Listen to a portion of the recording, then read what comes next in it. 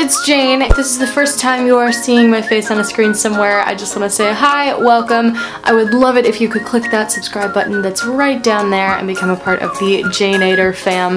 We're a pretty cool bunch, you know, lots of exclusive VIP members. Also, it's free, so. But if you are not a new person and you are a returning member, welcome back. It's great to see you again. So today's video is going to be a fall haul and this is a collective haul from a bunch of different places that I've been to and just acquiring things throughout the season. Um, and this is also a collab with some amazing YouTubers, so I'll list their videos down below. Definitely be sure to check them out and like their videos after you have given mine a thumbs up as well. And I just want to be clear that this video isn't made to brag or say that I have a bunch of stuff. Just for the record, I purchased most of it with my own money, so just wanted to put that out there. It's not to brag and just sharing this stuff with you because you guys seem to enjoy hauls. But this is the first haul on my channel, so I really hope you guys enjoy it. And if you want to see more hauls, give a thumbs up. And also thumbs up for another Falling into Autumn with Jane video. Yeah. But anyway, let's get right into the haul. Alright, so the first thing I'm going to show you is in its own category because it's the only thing I bought at this store. But I headed over to PacSun and I picked up this shirt. It is from LA Hearts and it's really, really cute little tank top and I think it would be really perfect if you wore like a cardigan over it and like some jeans and some boots. It's just, oh, it's adorable. Alright, so that was actually the only thing from PacSun, but the next store I'm going to move on to is Bath and Body Works. So I actually got three travel size lotions and five hand sanitizers at Bath & Body Works. So I'm going to show you the lotions first. The first lotion I got at Bath & Body Works is this Wild Madagascar Vanilla travel size lotion and honestly this thing smells like heaven. It's so vanilla-y but it's not too overpowering so this is perfect. It's just, oh, beautiful. And this next one is Cashmere Glow which I don't actually think is necessarily a fall scent and now that I'm realizing neither is the vanilla. But they're both really, really good and really comforting, and as soon as I put them on, I just feel at peace and not stressed out. And the last one is actually a lotion in my new favorite scent from Bath & Body Works. It's the Marshmallow Pumpkin Latte lotion. Oh my goodness, it feels like you're putting Starbucks on your body, which sounds terrible because it would get really sticky. With this lotion, oh my gosh, it's so good. All right, on to hand sanitizers. So the first one I have is Crisp Apples, and this honestly just smells so good. It smells like you're in some sort of apple orchard. Like it's really, really, really tasty, not to eat. Fun to play with, not to eat. But it smells really, really good and very, very fresh, so I have this pumpkin cupcake hand sanitizer, which I actually keep on top of my vanity in a little acrylic setup because I use this every time I sanitize my hands before I'm about to put on makeup. Next I have Cozy Vanilla Cream and this one is really good. It doesn't actually smell super strong, so if you want kind of um, a folly smell but you don't want something to smell super, super strong, this is the one for you. This is Pumpkin Pecan Waffles. Oh my gosh, it's so yummy smelling. Like, one sec.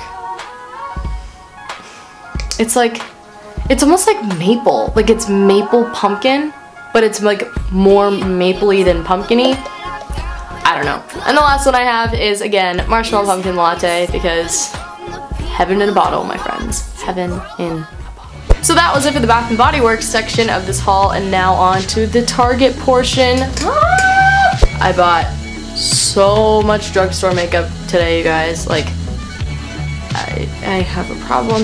Okay. So I'll start out with overall face product. The first thing I picked up is this CoverGirl Outlast Stay Fabulous 3-in-1 foundation, and honestly, I feel like everyone has this, and so I thought, you know, I might as well get it. Like, if everyone has it, and everyone loves it, why not? And it's actually the foundation I'm wearing on my face right now, so you can see it's like, it's very subtle. It also has some SPF in it too, so yeah. And in case you guys are wondering, I am in the color Soft Honey. The next thing I have is this Neutrogena Blemish Corrector Concealer thing because I realized when I had a pimple that popped up out of the middle of nowhere that I only had illuminating concealers and under eye concealers and you definitely don't want to use under eye concealer on a pimple because it'll make it super bright and like shimmery which you do not want. So I got this um, skin clearing concealer. And this one's actually really cool because it says it has something like micro clear technology, which basically means that it's going to clean out whatever pores you're putting it on. Like, I wonder if it has salicylic acid in it. Yeah, it has salicylic acid, so it's gonna help clear your skin. So the next thing I got is this L'Oreal Lumi highlighter, which is the True Match Lumi. So it looks like this. There are four different colors. Um, this is in the color compact of golden, I think. Um, and then when you open up this little bottom part, you get a little brush, which is cool. Um, I haven't used the brush yet because I used a fan brush, but this is actually a really good brush for applying highlighter because it's thin, so yeah. I'm also wearing this on my face and it's kind of hard to see, but there's like a little bit of shimmer on my cheekbones and stuff. But I am really liking this highlighter. It's super subtle, but it's like kind of sparkly and it's very, very nice. And the next thing is the NYC Sunny Bronzer. Again, everyone has this, but I felt like, you know, it had so much, it had so many good reviews, so I thought, why not just get it, you know, and it's super cheap, which is great. This is what it looks like. There's a little sun in the middle of it, which makes sense because it is the Sunny Bronzer, and then there is a mirror on the top. Hello. I like it because it's super subtle, like it, it's just really warm and it kind of blends into your skin and it's super velvety and soft, so yeah. So now for the eyes and lip products, I'm first going to start out with this Maybelline Brow Drama. Um, basically, it's just a brow mascara that you can coat over your brows after you fill them in so that all the hair stay in place. So basically when you open it up, it just, it's a very kind of interesting wand. It's super bulbousy at the end, but yeah, it's really nice because you can use the thin part of it to comb out your brows after you have applied the product. But so far I've used it today, like it's on my brows right now and I barely even filled them in like at all. And then I just put this on, which I, and I like it because it slightly darkens it. I have the color deep brown. And my brows aren't super dark, but I find that this color works super, super well for them, so yeah. And next, I think I'm the only person who has never purchased this until now. I have the NYX Jumbo Eye Pencil in, can you guess what color it is? That's right, milk. Everyone has this eye pencil and I just never had it, so now I do. Now all my colors will be bright and vibrant and yeah. So the next thing I bought is this Maybelline Mega Plush Mascara. I like it. It's good. It really coats all of your lashes and it's super soft putting it on, which I'm not used to. But it's good. I really like it. It's, it's very voluminizing and yeah. So I have three lip products to share with you today and the first one I'm going to show you is this L'Oreal collection exclusive lipstick and there's a series of purely red lipsticks and so the color itself is called 402 Blake Red. It's a matte lipstick but the color is just beautiful. It's this beautiful matte red with sort of blue tones in it.